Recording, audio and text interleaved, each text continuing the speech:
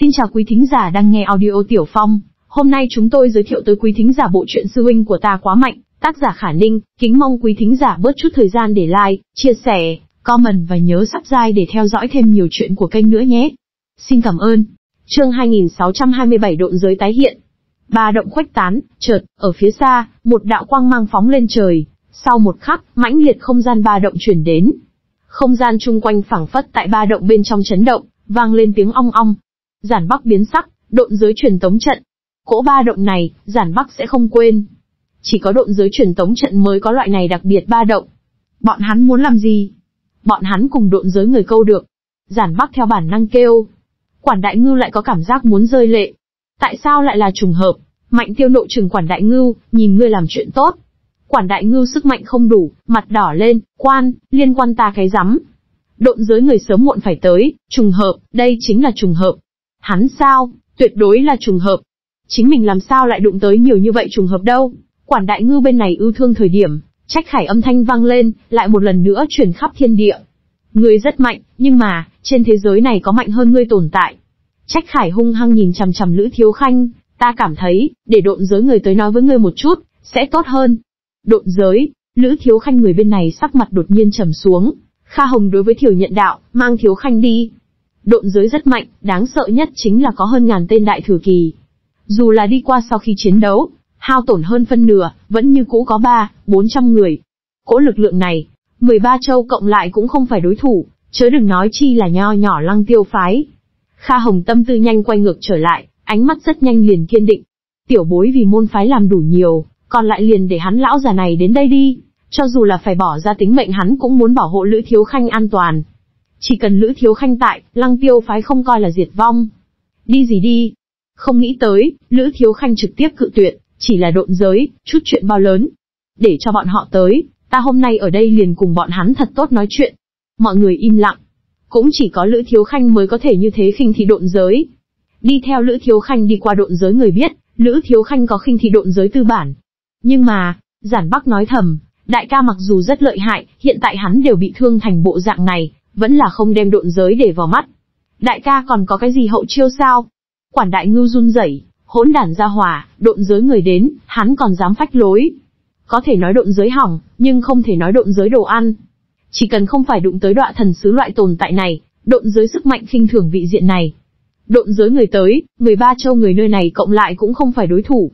Hơn nữa, nhìn dáng vẻ, trách khải bọn người liên hợp hội tụ ở đây, cùng độn giới không thể rời bỏ quan hệ.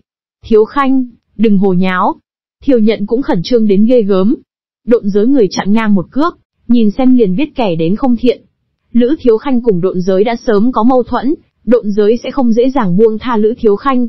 Không có việc gì, sư phụ, ngươi yên tâm chính là. Lữ Thiếu Khanh vẫn là câu nói kia, độn giới mà thôi. Thiều nhận cái kia cấp bách a. Ngươi có biện pháp không?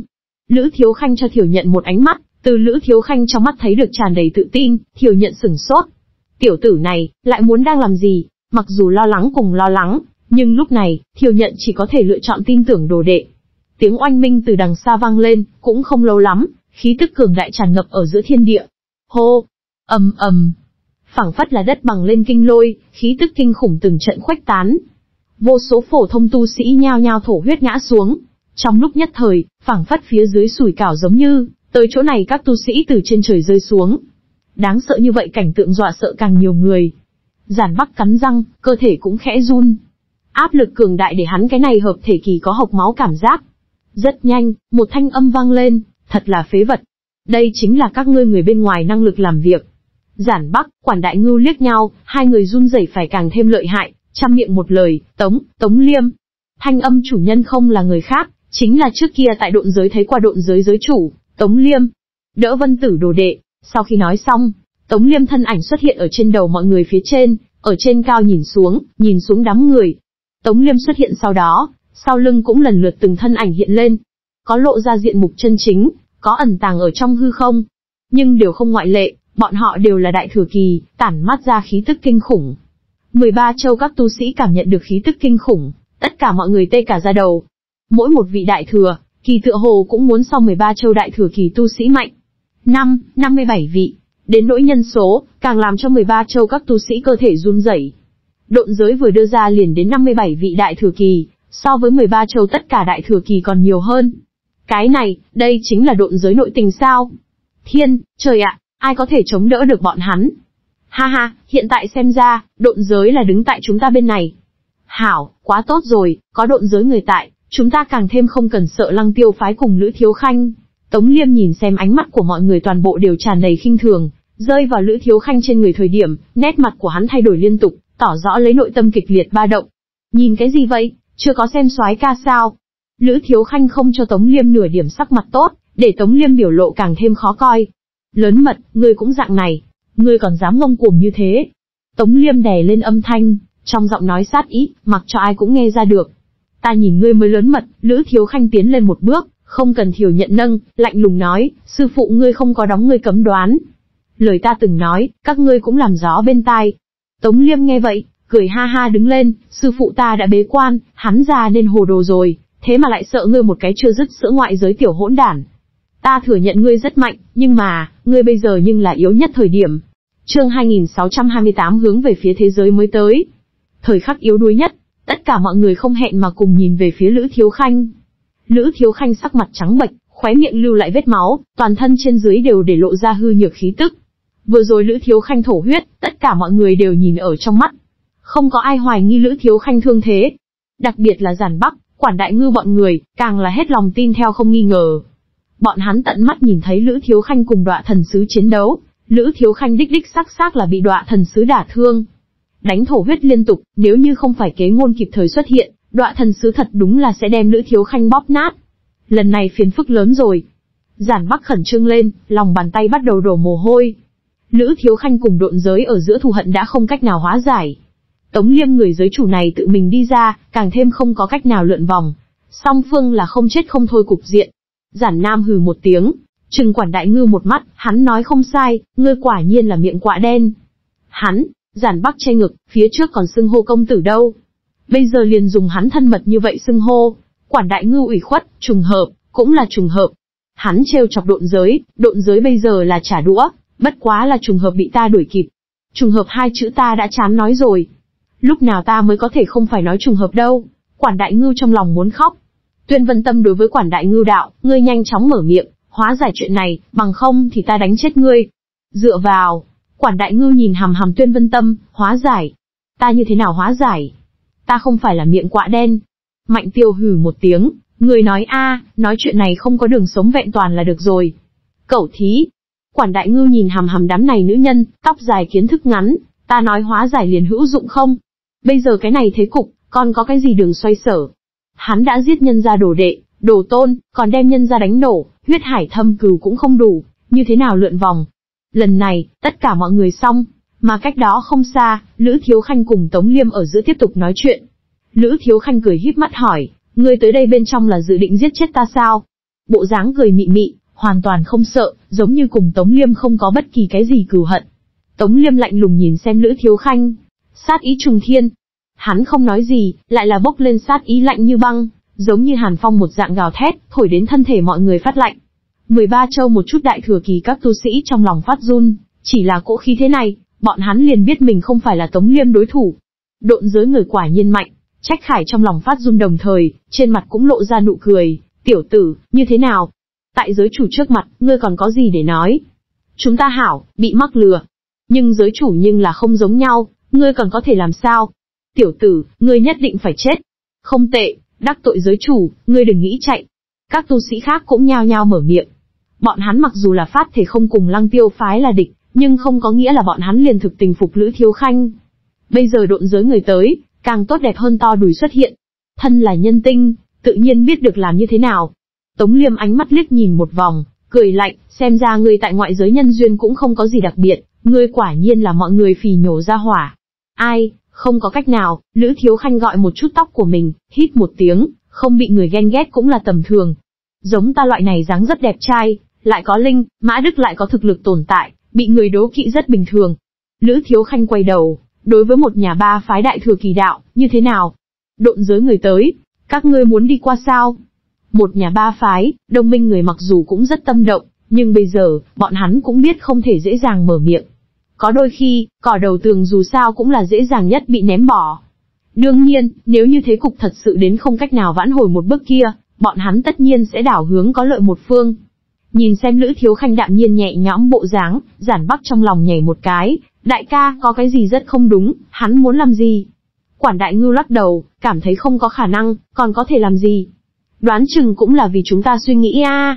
Mặc dù là hỗn đản, vẫn có chút lương tâm. Lữ Thiếu Khanh nhìn thấy phía bên mình không có ai mở miệng, ngược lại đắc ý đối với Tống Liêm đạo, như thế nào? Muốn đánh nhau sao? Ta bên này cũng không ít người, đánh nhau, ít nhất có thể sập ngươi mấy khỏa răng. Tống Liêm khinh thường, lạnh lùng mở miệng, một đám không đầy đủ hạng người. khinh bỉ những người khác sau đó, hắn nhìn chằm chằm Lữ Thiếu Khanh, giao ra thế giới mới tọa độ, ân oán giữa chúng ta xóa bỏ. Tất cả mọi người một mặt mộng bức, hoài nghi mình nghe lầm. Nhưng rất nhanh, người ở chỗ này đều hiểu đến đây. Cho dù là độn giới, bọn hắn cũng thèm nhỏ dãi Lữ Thiếu Khanh thế giới mới. Bọn hắn gióng trống khua chiêng đi tới nơi này, cũng là hướng về phía Lữ Thiếu Khanh thế giới mới mà đến. Trách khải trời đại thừa kỳ suýt chút nữa thì khóc ra thành tiếng. Sớm biết dạng này, bọn hắn vừa rồi nên tiếp tục ôm chặt Lữ Thiếu Khanh đùi tốt. Bây giờ tốt, bọn hắn bây giờ có một loại hai mặt không phải là người cảm giác. Rất nhiều người nhìn qua Lữ Thiếu Khanh ánh mắt thay đổi, trở nên nóng bỏng lên. Độn giới người cũng muốn Lữ Thiếu Khanh thế giới mới, đủ để chứng minh Lữ Thiếu Khanh thế giới mới giá trị. Giản Bắc kêu, dựa vào, đại ca, quản đại ngư mắng lên, nhìn, hèn hạ a, Vô sỉ hỗn đản, kém chút bị hắn hố. Thật là hư, đáng giận, Mã Đức tại sao lại là trùng hợp? Ta chẳng lẽ cùng trùng hợp cứ như vậy hữu duyên sao? Tuyên Vân Tâm thấp giọng nói, nguyên lai hắn đã sớm biết một bấm này, cho nên e ngại độn giới. Có thể tiến vào thế giới mới người chỉ có Lữ Thiếu Khanh một cái, có thể nói là nắm giữ hạch tâm khoa học kỹ thuật, ai tới đều phải dựa dẫm Lữ Thiếu Khanh. Nhưng mà, Tuyên Vân Tâm ánh mắt mang theo mấy phần lo nghĩ, cũng có một cái vấn đề rất lớn a. Chương 2629 sư phụ người cũng không dám đối với ta như vậy. Độn giới nhân đại trương cờ trống, khí thế hừng hực mà đến. Vốn cho rằng sẽ muốn giết chết Lữ Thiếu Khanh, mục đích cuối cùng nhất lại là Lữ Thiếu Khanh trong tay thế giới mới. Tất cả mọi người đều không nghĩ tới là như thế một chuyện. Tống Liêm lại nói một câu, ngươi có cái gì yêu cầu, cứ việc nói. Tống Liêm là độn giới giới chủ, trưởng khống độn giới, một cỗ ba bốn trăm vị đại thừa, kỳ tạo thành lực lượng cường đại cung cấp hắn điều động. Ngoại trừ độn giới đại trưởng lão, Tống Liêm hoàn toàn có thể nói là hạ vị diện thế giới đệ nhất nhân. Dạng này người dậm chân một cái, hạ vị diện thế giới đều biết run run mấy lần. Hắn nói bất kỳ yêu cầu gì tùy tiện nhắc tới, đổi lại bất luận là một tu sĩ nào, đều biết điên cuồng, bao quát thông thường đại thừa kỳ. Độn giới giới chủ nhân tình, giá trị vô hạn, không phải mỗi người đều có thể nhận được. Trách khải đám người đã hô hấp trầm trọng, hâm mộ ghen ghét phải hai mắt đỏ lên. Bọn hắn chỉ hận chuyện tốt như vậy rơi không đến trên người mình, Lữ Thiếu Khanh bĩu môi, đối với Tống Liêm mà nói không có nửa điểm động tâm, các ngươi nghèo giới có cái gì có thể đem ra được. Độn giới linh thạch chắc chắn không coi là nhiều, vật tư có lẽ sẽ có chút, nhưng còn không vào được Lữ Thiếu Khanh pháp nhãn. Huống chi, đây cũng không phải là Lữ Thiếu Khanh mong muốn. Tống Liêm nhíu mày, trong lòng khó chịu. Hắn có thể nói ra những lời kia, đã là cho Lữ Thiếu Khanh thiên đại mặt mũi. Bình thường tu sĩ bị hắn đối xử như thế, đã sớm quỳ xuống đối với hắn móc tim móc phổi coi hắn là phụ mẫu một dạng hiếu kính. Hắn hừ một tiếng, nói lần nữa, ngươi muốn cái gì? Cứ việc nói. Ta chơi chết ngươi đổ đệ, ngươi không có ý định báo thù. Lữ Thiếu Khanh cười híp mắt hỏi. Ta mặc dù rất hận ngươi, hận không thể đem ngươi chém thành muôn mảnh, Tống Liêm ánh mắt lấp lóe, sát ý ở trong mắt lưu chuyển, nhưng vì độn giới, vì thiên hạ thương sinh, giữa người ta tự oán không tính là cái gì. Tống Liêm sau khi nói xong, thẳng tắp thân thể, trong mắt đỏ hoe, một bộ vì thiên hạ đại nghĩa mà bỏ qua chính mình tự oán bộ dáng. Bộ dáng này để rất nhiều người nhịn không được lộ ra kính nể. Không hổ là độn giới giới chủ, một lòng vì công, tấm gương chúng ta. Đúng vậy a, đồ đệ bị giết, vì các tu sĩ khác, hắn nguyện ý thả xuống đoạn này cừu hận, cùng cừu nhân bắt tay giảng hòa. Loại này cách cục không phải người bình thường có thể có. Chẳng thể trách hắn có thể làm độn giới giới chủ. Lữ thiếu khanh đâu? Nếu là hắn lại không thức làm, thì hắn không phải là người. Đúng vậy a, độn giới giới chủ chủ động từ bỏ cừu hận, hắn cũng phải bày tỏ một chút, ánh mắt mọi người rơi vào Lữ Thiếu Khanh trên thân, chờ đợi Lữ Thiếu Khanh trả lời. Đối mặt với ánh mắt của mọi người, đối mặt với Tống Liêm bức thoái vị, Lữ Thiếu Khanh cười lạnh một tiếng, đồ đệ của ngươi đổ tôn thật thảm. Ngươi không giúp bọn hắn báo thù cũng coi như, còn bị ngươi lấy ra làm thẻ đánh bạc. Liền chết đều không được yên tĩnh. Ta có thể rõ ràng nói cho ngươi, ngươi muốn thế giới mới tọa độ. Ngươi nằm mơ cũng đừng nghĩ làm. Chỉ là độn giới giới chủ, cũng không cảm thấy ngại ở trước mặt ta nhảy nhót. Sư phụ ngươi cũng không dám bộ dạng này, ngươi từ đâu tới lòng can đảm. Tống Liêm sầm mặt lại, ngươi, những người khác thì xôn xao. Không phải chứ, hắn cự tuyệt. Hắn liền như thế không để mặt mũi. Hắn không sợ bị người chỉ vào sống lưng mắng sao. Giản Bắc kinh thán, đại ca quả nhiên là đại ca. Quản đại ngưu cắn răng, hỗn đản ra hỏa cự tuyệt thời điểm liền không thể thật dễ nói chuyện sao. Phiền phức lớn rồi. Ngươi cự tuyệt liền cự tuyệt, ngươi liền không thể quản ngươi một chút miệng, ngươi còn không biết xấu hổ nói ta. Miệng của ngươi một tấm, hòa bình thế giới cũng sẽ biến thành thế chiến. Tống liêm một đám người từ độn giới đi tới nơi này, là hướng về phía Lữ Thiếu Khanh thế giới mới mà đến, mục tiêu rất rõ ràng. Không đạt đến mục đích thể không bỏ qua. Lần này thật sự xong đời. Tống Liêm nhìn chòng chọc vào Lữ Thiếu Khanh, ánh mắt càng ngày càng âm u lạnh lẽo, trong lòng sát ý càng ngày càng mãnh liệt. Lữ Thiếu Khanh, cái tên này truyền vào hắn trong tai thời điểm, hắn ba cái đồ đệ trở thành Lữ Thiếu Khanh vong hồn dưới kiếm.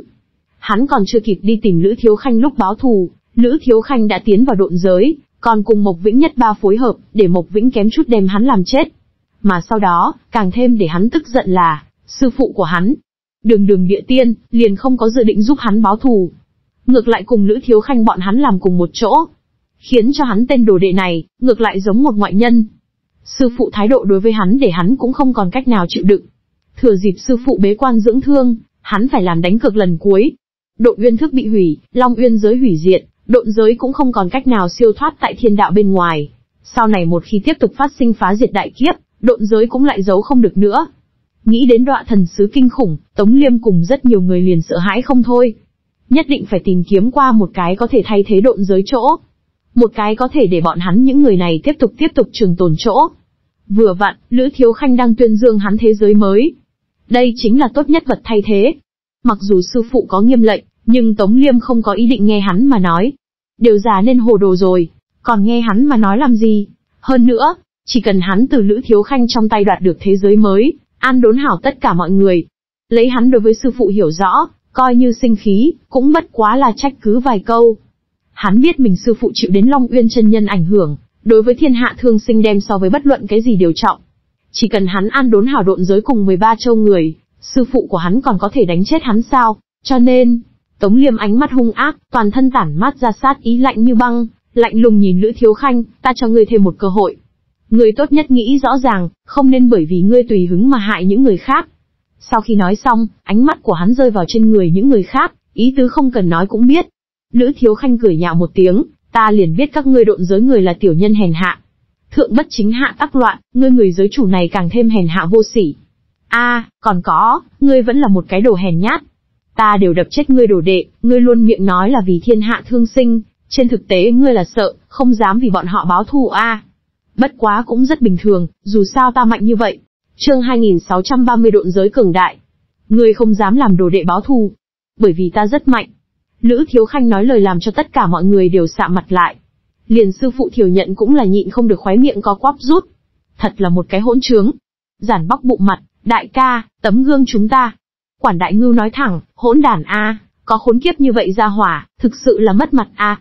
Biết ngươi rất mạnh, nhưng loại lời này ngươi để người khác tới nói có thể chết sao? Chính mình nói chính mình rất mạnh, ngươi tuyệt không đỏ mặt. Hắn muốn làm gì? Có người không hiểu, sợ hãi kêu, có ý chọc giận độn giới giới chủ, có chỗ tốt gì? Đáng chết, đừng đem chúng ta góp đi vào. Đáng giận, hắn có phải là mù hay không? Có phải hay không thấy không rõ lắm thế cuộc trước mắt? Không thiếu tu sĩ trong lòng đem Lữ Thiếu Khanh mắng cẩu huyết lâm đầu. Đều đã đến lúc nào rồi, đối mặt với độn giới giới chủ, người khách khí một chút có thể chết sao? Nhất định phải đem người chọc giận mới được. 13 châu những châu khác các tu sĩ trong lòng rất lo lắng. Độn giới sức mạnh quá mạnh, ở đây tất cả mọi người cộng lại đều không phải là bọn hắn đối thủ.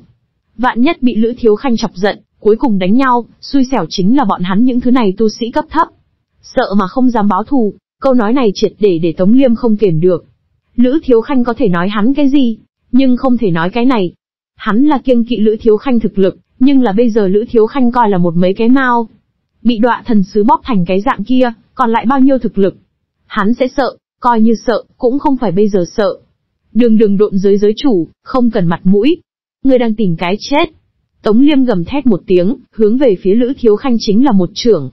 ầm ầm, tiếng nổ thật to bên trong, Tống Liêm tay hóa thành kình thiên đại thủ, hung hăng chấn áp xuống. Hừ, vẫn không có nói chuyện Kha Hồng đột nhiên xuất kiếm, kiếm quang trùng thiên, cùng đại thủ hung hăng đối bính. Hai người đối bính, sinh ra ba động để người chung quanh nhao nhao lui lại. Kha Hồng tay cầm trường kiếm lạnh lùng nói, khi dễ tiểu bối, tính là gì anh hùng? Độn giới người, cũng là như vậy. Tống Liêm ánh mắt băng lãnh, nhìn chằm chằm Kha Hồng, cười lạnh một tiếng, ngươi chính là hắn cuối cùng dựa dẫm.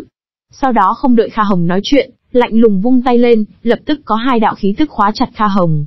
Hai tên độn giới đại thừa kỳ từ Tống Liêm sau lưng hiện lên, đằng đằng sát khí, nhìn chòng chọc vào Kha Hồng. Kha Hồng biến sắc, hắn một khi có hành động, liền sẽ lập tức lọt vào hai người vây công. Kha Hồng không kém, nhưng cũng không có mạnh, đến có thể một người có thể chấn áp được hai vị đại thừa kỳ. Tống Liêm ánh mắt lại liếc nhìn những người khác, một nhà ba phái, đồng minh đều có đại thừa kỳ. Hắn cũng là lạnh lùng phất tay, đồng dạng hai cái chằm chằm một cái, trong nháy mắt để Lữ Thiếu Khanh bên này đại thừa kỳ không dám hành động thiếu suy nghĩ. Cho dù dạng này, Tống Liêm sau lưng vẫn, như cũ còn có gần tới 30 vị có thể đưa ra tay đại thừa kỳ. Độn giới cường đại, có thể thấy được lốm đốm. Tống Liêm chiêu này làm cho tất cả mọi người trong lòng hàn khí ứa ra. Quản đại ngư run rẩy, độn giới, quá mạnh mẽ. Thiên cơ các bên này bất quá ba vị đại thừa kỳ, lại bị sáu vị độn giới đại thừa kỳ để mắt tới, đánh cái rắm. Giản Bắc cũng là nhức đầu vô cùng, độn giới không thèm nói đạo lý, có vẻ như thật sự không làm gì được bọn họ. Nắm giữ thực lực cường đại chính là có thể muốn làm gì thì làm. Trách khải bọn người thấy cảnh này, hưng phấn đến không kiềm chế được. Đây chính là độn giới cường đại, bọn hắn ôm vào đầu này thô to vô cùng đùi, về sau tiền đồ sắn lạn. Giới chủ uy vũ. Ha ha, giới chủ, quả nhiên lợi hại, hơi ra tay, liền có thể để hắn cảm nhận được vạn quân lôi đình. Hừ, tiểu tử, đừng tìm giới chủ đấu. Người đấu không lại giới chủ. Trách khải bọn người nhao nhao mở miệng, chỉ sợ trễ một điểm liền chụp không bên trên tống liêm mông ngựa. Tống liêm hơi nhếch khóe mua lên lên, mặt ngoài băng lãnh, trong lòng lại là đã cười ha hà. Cục diện như vậy, hắn nghĩ không ra Lữ Thiếu Khanh còn như thế nào xoay người. Nắm chắc thắng lợi trong tay, phi long kỵ kiểm, tình hình như thế, tâm tình làm sao không hảo, ánh mắt của hắn chậm rãi rơi vào thiểu nhận trên thân. Ngươi chính là Lữ Thiếu Khanh sư phụ. Ánh mắt lợi hại, sát ý lạnh như băng để thiểu nhận cảm nhận được áp lực lớn lao. Thiểu nhận đứng tại Lữ Thiếu Khanh trước mặt, treo lên tống liêm áp lực, không tệ. Ngươi có chuyện gì liền hướng ta tới, khi dễ đồ đệ của ta, ngươi cũng không ngại mất mặt. Tống liêm nhíu mày, trong lòng vui vẻ yếu bớt không thiếu. Hừ, thượng bất chính hạ tắc loạn, có dạng gì sư phụ, sẽ có cái đó dạng đồ đệ. Tống liêm mở miệng, tính toán từ ngoài miệng tìm về điểm chàng tử. Ai nha? Lữ thiếu khanh đem thiểu nhận kéo ra phía sau, sư phụ, ngươi ra ngoài làm gì? Loại tiểu nhân vật này không cần làm phiền ngươi ra tay. Đừng ô uế ánh mắt của ngươi cùng ô nhiễm tâm tình của ngươi. Ngươi bây giờ phải gìn giữ hảo tâm tình, dù sao đại sự hạng nhất mới là trọng yếu nhất. Một phen để Tống Liêm hảo tâm tình mất giáo. Tống Liêm gầm thét, Lữ Thiếu Khanh. Hô lớn tiếng như vậy, làm gì? Lữ Thiếu Khanh cũng là ngươi có thể kêu. Lữ Thiếu Khanh không khách khí trở về uống, sư phụ ngươi không dạy qua ngươi lễ phép, chính ngươi sẽ không học sao. Độn giới lễ băng nhạc phôi tất cả đều là, bởi vì có ngươi cái này không có lễ phép giới chủ tạo thành, bên trên phẳng phất phía dưới công hiệu, ngươi đem độn giới mang thành dạng này, lương tâm của ngươi không đau. A, ngượng ngùng, ta quên ngươi là tên không có lương tâm. Ngậm miệng. Tống Liêm bị nói ba thi thần bạo khiêu, cũng lại duy trì không được vốn có bộ dáng, quát lên một tiếng lớn, hung hăng một trưởng vỗ xuống. Mơ tưởng. Tại không xa xa hạ ngữ, tuyên vân tâm hai người đồng thời ra tay. Hai người cũng là đại thừa kỳ, nhưng mà các nàng đã thụ thương, cho dù là liên thủ cũng ngăn cản không nổi Tống Liêm công kích. Phốc. Hai người thụ thương thổ huyết, nhưng vẫn là đem Tống Liêm công kích đỡ được. Ha ha, Tống Liêm cười gằn, đối với Lữ Thiếu Khanh đạo, lần một lần hai đều có người giúp ngươi cản trở, ta không tin còn có lần thứ ba. Ngươi một vạn lần đều không đánh chết ta, tin không? Lữ Thiếu Khanh vẫn là rất cường thế, không thấy nửa điểm lùi bước e ngại. Hảo, hảo. Tống Liêm cuối cùng nhìn xem tại Lữ Thiếu Khanh sau lưng thiểu nhận, lộ ra nụ cười tàn nhẫn, hắn nhưng cũng là sư phụ của ngươi, ta giết hắn trước. Sau đó, hung hăng một kiếm rơi xuống. Chương 2631 trang thương, mang theo một ánh kiếm màu xanh lục, tràn ngập nồng đậm sinh cơ, lại cho người ta một loại khí tức tử vong. Tống Liêm một kiếm xuống, đem Lữ Thiếu Khanh cùng Thiểu Nhận bao phủ. Hắn nói muốn đối phó Thiểu Nhận tuyệt không phải nói một chút mà thôi. Lữ Thiếu Khanh thụ thương, tuyệt đối ngăn cản không nổi hắn một kiếm. Hắn muốn là Thiểu Nhận tới thay Lữ Thiếu Khanh ngăn cản. Đại thừa kỳ công kích, chỉ là hợp thể kỳ Thiểu Nhận tuyệt đối ngăn cản không nổi. Tống Liêm nụ cười trên mặt càng ngày càng tàn nhẫn, hắn phải ngay Lữ Thiếu Khanh mặt giết Thiểu Nhận. Chỉ có dạng này, mới có thể phát tiết trong cơ thể hắn lửa giận. Dù sao Lữ Thiếu Khanh quá ghê tởm. Sống lâu như vậy hắn lại một lần bị Lữ Thiếu Khanh làm nhục như vậy, thù mới hận cũ phía dưới, hắn muốn hung hăng giày vò Lữ Thiếu Khanh, bằng không thì khẩu khí kia phát tiết không xong. Ta xem, ai còn có thể bảo vệ được ngươi. Tống Liêm trong lòng quyết tâm, đồng thời tràn ngập chờ mong, hắn đã không kịp chờ đợi muốn nhìn Lữ Thiếu Khanh hối hận sắc mặt. Hắn muốn Lữ Thiếu Khanh quỳ trước mặt hắn khóc ròng ròng cầu tha thứ. Kiếm quang trùng thiên, nhàn nhạt lục sắc cơ hồ chiếu rọi tại mỗi một vị tu sĩ trên mặt. Đáng sợ kiếm ý, khí tức cường đại để bọn hắn cảm thấy ngạt thở. Độn, độn giới giới chủ thực lực, khủng bố như thế. Không hổ là độn giới giới chủ. Đương thời đệ nhất nhân cũng không đủ a. Đáng sợ, thực lực kinh khủng như thế, đến cùng là thế nào tu luyện. Lữ Thiếu Khanh chết chắc, thần tới đều không cứu được hắn. Không tệ, cũng không biết hắn sẽ hối hận hay không trêu chọc đến giới chủ tiền bối. Hối hận cũng vô dụng, hắn chết chắc, các tu sĩ nhao nhao nghị luận, nhìn xem kiếm quang bao phủ bầu trời, chật chật lắc đầu. Giản Bắc cùng quản đại ngư bọn hắn bị kiếm quang ép không ngừng lùi lại. Giản Bắc kêu, đại ca, hắn mặc dù là kêu, lại là gắt gao lôi kéo muội muội của mình. Quản đại ngưu thì ôm đầu, thật là, cái này hỗn đản đến cùng muốn làm gì? Bị thương, tại sao còn muốn điên cuồng khiêu khích đối phương? Lần này tốt, còn đem thiểu nhận tiền bối đều góp đi vào, hắn muốn vì sau đó hối hận cả một đời, đáng giận, làm sao bây giờ? Mạnh tiêu gấp đến độ xoay quanh, nếu không phải là thực lực của nàng không đủ, nàng cũng xông lên. Không có, không có việc gì. Hạ ngữ bỗng nhiên mở miệng, sắc mặt nàng vô cùng nhợt nhạt, thiếu khanh sư đệ, chưa bao giờ làm không nắm chắc sự tình. Quản đại ngư thứ nhất không phục, ngươi còn tin hắn. Ngươi cũng sắp bị đánh chết. Hỗn đản ra hỏa, hắn chết chắc, ha ha. Tống liêm tiếng cười đắc ý truyền khắp thiên địa. Chỉ bằng ngươi cũng xứng đấu với ta. Trường kiếm trong tay của hắn uốn éo, đầy trời kiếm quang lại độ bộc phát. Trong tiếng nổ vang, bầu trời xuất hiện từng đạo vết rách, bởi vì lực lượng kinh khủng mà gia tốc sụp đổ. Quản đại ngư sắc mặt tràn ngập sợ hãi, xong, lần này thật sự xong, nhưng mà, tiếng oanh minh rất nhanh tiêu thất, kiếm quang cũng dần dần tiêu tan, giống như trên trời dần dần tắt thái dương một dạng. Ánh mắt mọi người nhìn chòng chọc vào Lữ Thiếu Khanh vị trí. Bọn hắn đều nghĩ xem Lữ Thiếu Khanh phải chăng còn sống sót. Dần dần tiêu tan, hai thân ảnh chậm rãi hiện lên. Chấn động tia sáng bên trong, bọn hắn giống như từ trong hư không đi từ từ đi ra. Làm Lữ Thiếu Khanh cùng Thiểu Nhận hoàn hảo không hao tổn xuất hiện trong tầm mắt mọi người, tất cả mọi người đều sừng sốt. Không, không có khả năng.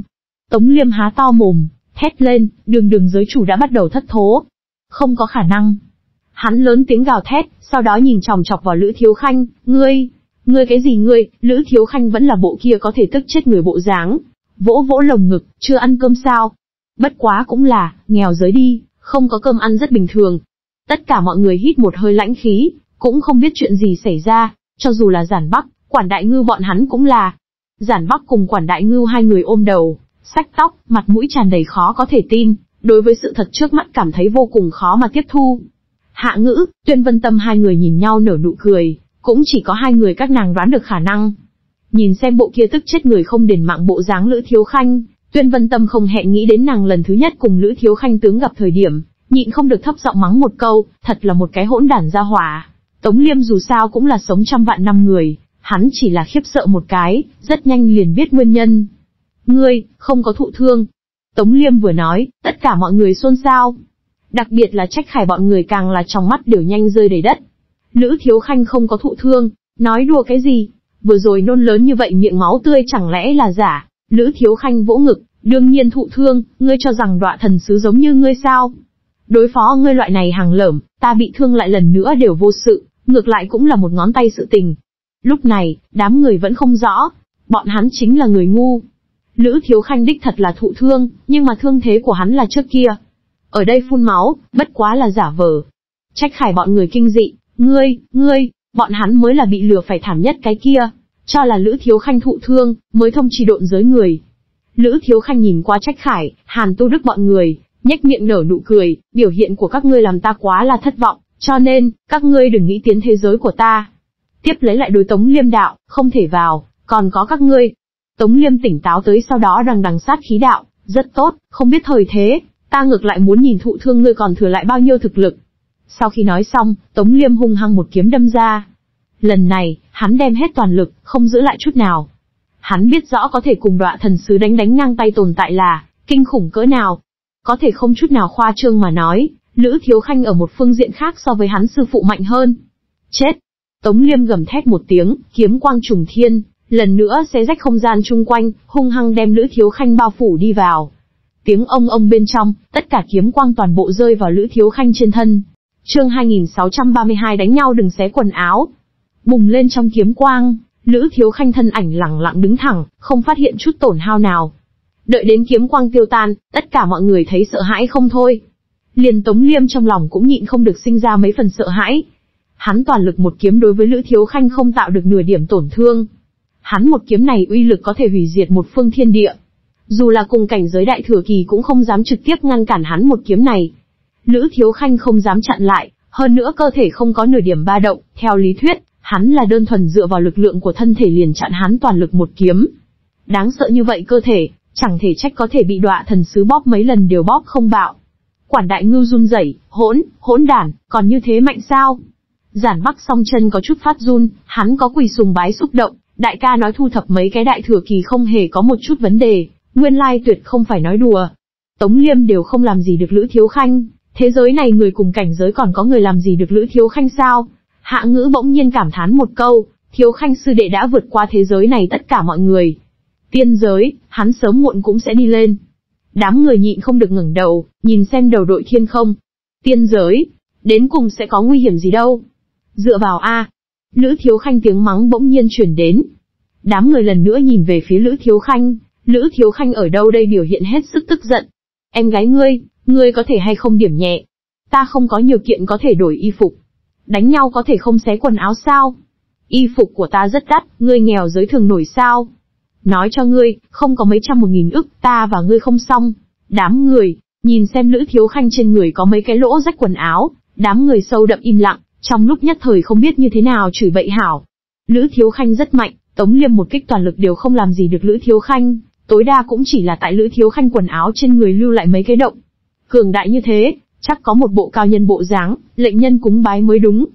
Nhưng mà lại vì một bộ y phục hô to tiểu uống, há miệng chính là linh thạch, loại hành vi này cùng cao nhân hình tượng dựng không trên nửa điểm quan hệ. Lệnh nhân tâm lý vô cùng phức tạp. Dù là Lữ Thiếu Khanh người bên này, cũng là bất lực chửi bậy. Quản đại ngưu thứ nhất chửi bậy đứng lên, hỗn đản à, đều đã đến lúc nào rồi, còn tại quan tâm hắn quần áo. Giản Bắc lại trầm lặng nói, đại ca để ý y phục của hắn, chứng minh hắn không có đem Tống Liêm để vào mắt. Tống Liêm cũng phát giác được một bấm này, nộ khí lần nữa xông tới. Cùng nói Lữ Thiếu Khanh là đang quan tâm quần áo, chẳng bằng nói là tại xích lòa lòa nhục nhã Tống Liêm. Đường đường độn giới giới chủ, còn không bằng một bộ y phục đáng giá đối phương xem trọng. Phẫn nộ chiếm cứ hắn toàn bộ, đáng chết, ta muốn giết ngươi. Hắn lần nữa xuất kiếm, hơn nữa còn gọi bên trên những người khác, đồng loạt ra tay, giết hắn. Cái gì thế giới mới gặp quỷ đi thôi. Tống Liêm bây giờ chỉ muốn giết Lữ Thiếu Khanh. Không giết Lữ Thiếu Khanh, khẩu khí này sẽ bị hắn nín chết. Nhận được Tống Liêm gọi, nhàn rỗi đại thừa kỳ nhao nhao ra tay, trong chốc lát, thiên địa rung chuyển, từng mảng lớn không gian sụp đổ, chung quanh tu sĩ hoảng sợ không thôi, chạy trốn tứ phía. Giống như tổ kiến sập, bên trong con kiến khắp nơi chạy trốn. Nhìn xem sụp đổ không gian, hư không phong bạo bao phủ, từng đạo pháp thuật gào thét, khí tức kinh khủng tràn ngập. Rất nhiều tu sĩ sợ hãi, run lẩy bẩy. Công kích kinh khủng như thế bên trong, Lữ Thiếu Khanh cạn bã đều không phải còn lại a. cái này, đại ca không có sao chứ? Giản Bắc lo lắng. Đại ca đã là bắp đùi của hắn, đùi nhưng tuyệt đối đừng xảy ra chuyện gì a.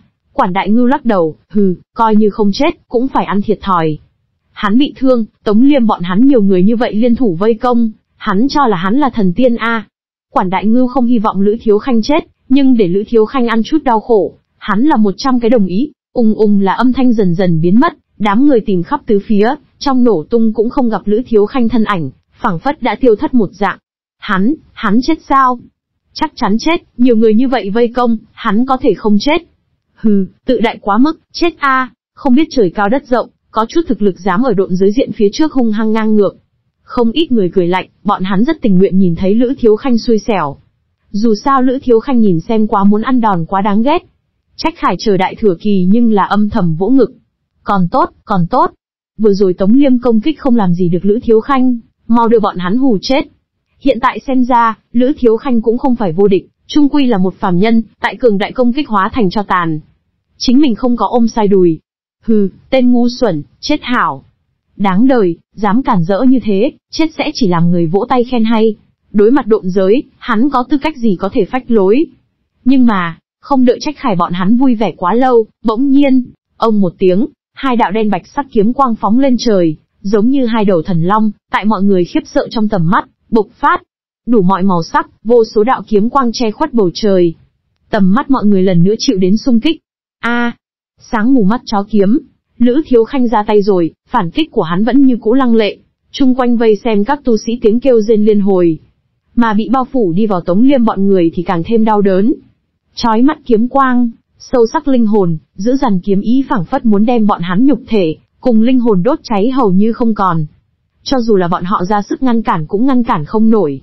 Bọn hắn tại trong kiếm quang nhao nhao phát ra tiếng kêu thảm âm thanh, cơ thể lọt vào trình độ tổn thương bất đồng, máu tươi bắn tung tóe. Hô, hô, kiếm quang tiêu thất, tống liêm bọn người thở hồng hộc. Một chút lần thứ nhất cùng Lữ Thiếu Khanh đưa trước tay độn giới đại thừa kỳ tu sĩ, bọn hắn đầy mắt hoảng sợ, tự mình kinh nghiệm mới biết được Lữ Thiếu Khanh kinh khủng. Tống liêm quát to một tiếng, sau một khắc, cả người hắn đều biến mất tại chỗ ầm ầm. Tống Liêm vị trí phẳng phất bị cái gì đánh trúng, cũng phát sinh sụp đổ, hơn nữa sụp đổ phải càng thêm lợi hại. Cả vùng không gian trong nháy mắt tiêu thất, trở thành một mảnh hư không. Mọi người thất kinh, bọn hắn ngẩng đầu nhìn lại, nhìn thấy Lữ Thiếu Khanh thân ảnh cũng là chợt lóe lên. Ngay sau đó, nơi xa truyền đến mấy lần ba động, mơ hồ thấy được Tống Liêm thất kinh thân ảnh, sau cùng ba động tiêu thất. Chương 2633 nói lời xin lỗi, Ba động tiêu tan, rất nhiều người dướn cổ lên, muốn nhìn một chút là ai thắng. Bất quá khi Lữ Thiếu Khanh thân ảnh xuất hiện thời điểm, rất nhiều tu sĩ trong lòng nhảy một cái. Mà nhìn thấy Lữ Thiếu Khanh cầm trong tay một cái gần như trong suốt bóng người thời điểm, rất nhiều người trong lòng bốc lên sợ hãi. Độn giới đại thừa kỳ nhóm thì thất thanh kêu lên. Giới, giới chủ, giới chủ. Đáng chết, ngươi lớn mật, thả giới chủ. Làm càn, ngươi cũng dám. Tống liêm nguyên thần bị Lữ Thiếu Khanh nắm ở trong tay, lúc ẩn lúc hiện trên mặt mang theo phẫn nộ, sợ hãi các loại biểu lộ. Mặc cho hắn như thế nào dãy dụa hắn, cũng không cách nào từ Lữ Thiếu Khanh trong tay tránh thoát. Đường đường giới chủ bị Lữ Thiếu Khanh đánh nổ, cuối cùng trở thành Lữ Thiếu Khanh trong tay tù binh. Một màn này đánh thẳng vào rất nhiều người ánh mắt, để bọn hắn đối với Lữ Thiếu Khanh đáng sợ có càng thêm sâu nhận biết. Ai ai, Lữ Thiếu Khanh chỉ vào độn giới tu sĩ quát lên, đừng kêu, ta nhát gan, chịu không được một chút kinh hãi. Ta sợ liền sẽ dùng lực, Đến lúc đó ta cũng không dám cam đoan giới chủ của các ngươi như thế nào a. Độn giới đại thừa kỳ nhóm nhao nhao ngậm miệng lại, vô cùng phẫn nộ, nhìn trong chọc vào Lữ Thiếu Khanh. Nhưng mà bọn hắn cũng không dám hành động thiếu suy nghĩ. Bọn hắn có thể bị Tống Liêm mang đến ở đây, đủ để chứng minh bọn hắn cùng Tống Liêm quan hệ trong đó. Bọn hắn có thể nói là Tống Liêm thủ hạ, là thân tín, cùng Tống Liêm có vinh cùng vinh, có nhục cùng nhục. Tiểu tử, thả giới chủ, tất cả đều dễ nói chuyện. Có người đối với Lữ Thiếu Khanh quát lên, bằng không thì, không thả.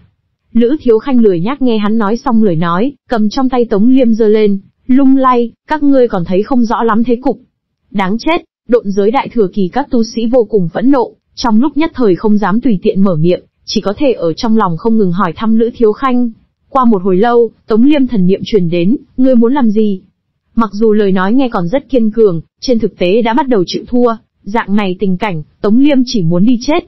Lần này so với lần trước càng làm cho hắn cảm thấy sỉ nhục. Lần trước hắn là bị Mộc Vĩnh đánh nổ, bởi vì có Lữ Thiếu Khanh hỗ trợ, hắn cũng không tính rất mất mặt.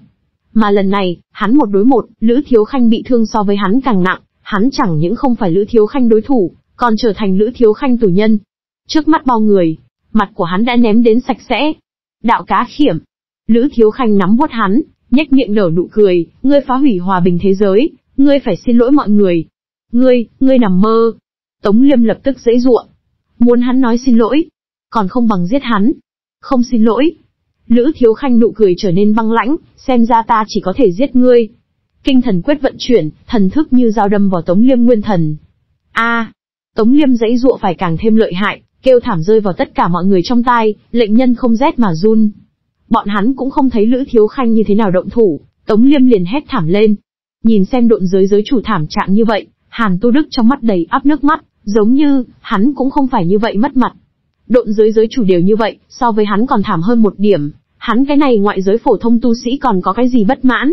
Vùng vẫy một hồi lâu, Tống Liêm mới có thể mở miệng nói chuyện, hắn vội vàng nói, ngươi, ngươi, ngươi có điều kiện gì, ngươi cứ việc nói. Tống Liêm lúc nói lời này, tiến hơn một bước thấp giọng xuống, hắn hận không thể chính mình đi chết. Mà đông đảo tu sĩ cũng trầm mặc xuống, rất nhiều người cảm thấy tựa như nằm mơ giữa ban ngày một dạng. Phía trước độn giới nổi tiếng bên ngoài, uy danh hiển hách. Tại tu sĩ trong suy nghĩ, độn giới chính là thứ hai cái tiên giới, cho vô số người mang đến hy vọng. Là đông đảo tu sĩ trong lòng khát vọng thánh địa, cho nên, độn giới tu sĩ tại ngoại giới tu sĩ xem ra bọn họ đều là hơn người một bậc, là làm người ngưỡng vọng tồn tại. Rất nhiều người chưa thấy qua độn giới người, nhưng không trở ngại những tu sĩ này ở trong lòng sùng bái cúng bái độn giới người. Trong lòng bọn họ, độn giới người cao cao tại thượng, thần thánh không thể xâm phạm. Bây giờ, thân là cao cao tại thượng độn giới giới chủ lại bị Lữ Thiếu Khanh nắm ở trong tay, ăn nói khép nép cầu xin tha thứ. Một màn này, phá vỡ rất nhiều người huyễn tượng, để bọn hắn thấy rõ ràng thực tế. Độn giới người, cũng bất quá như thế, thậm chí, so với bọn hắn còn có điều không bằng. Từ giờ trở đi, độn giới tầng kia thần thánh, màng ánh sáng tại 13 châu tu sĩ trong suy nghĩ triệt để rút đi. Xin lỗi a, Lữ Thiếu Khanh vẫn là câu nói kia, lớn tiếng đạo, xin lỗi mọi người, nói một tiếng ngươi sai. Ngươi, ngươi đừng quá mức. Tống Liêm tức giận đến muốn tự bạo cùng Lữ Thiếu Khanh đồng quy vu tận. Ai nha, tù nhân, bại tướng dưới tay, còn dám phách lối như vậy. Lữ Thiếu Khanh hùng hùng hồ hồ, ta người này ghét nhất chính là phách lối ra hỏa. Sau khi nói xong, vừa hung ác cho Tống Liêm một chút. a kinh thần quyết uy lực, không có mấy người có thể chịu được. Tống Liêm lần nữa đau kêu lên thảm thiết. Nhưng, Tống Liêm đến cùng là giới chủ, xin lỗi cái gì? Loại này nhục nhã người sự tình, hắn sẽ không nhanh như vậy khuất phục. Ngươi, ngươi có gan liền giết ta. Tống Liêm cuối cùng vẫn là hô lên câu nói này. Hắn đang đánh cược. Phốc. Kinh thần quyết lại cho hắn một chút, Tống Liêm lần nữa kêu thảm. Nhưng lần này kêu thảm, ngược lại để hắn xác định một sự kiện. Hừ, ngươi giết ta đi. Tống Liêm lần nữa hô to. Ngươi cho rằng ta không dám giết ngươi. Lữ Thiếu Khanh bỗng nhiên mở miệng. Phù một tiếng, Tống Liêm nguyên thần bị đánh thành hai nửa, tiếng kêu thảm thiết vang vọng đất trời. Tống Liêm dãy dụ muốn chạy trốn, nhưng ở Lữ Thiếu Khanh trong tay, hắn lại không có bất kỳ biện pháp nào thoát đi, vẫn như cũ bị Lữ Thiếu Khanh vững vàng nắm ở trong tay. Xin lỗi sao? Lữ Thiếu Khanh cười híp mắt hỏi, tại Tống Liêm xem ra, Lữ Thiếu Khanh tựa như ác ma một dạng. Nhưng mà, Tống Liêm càng thêm kiên định. Ha ha, Tống Liêm cố ý lớn tiếng cười lên, Ngươi không dám giết ta, Ngươi giết ta, sư phụ ta sẽ vì ta báo thù. Sư phụ ngươi. Lữ Thiếu Khanh đánh gãy Tống Liêm mà nói, khinh thường cười nói, sư phụ ngươi không thích ngươi,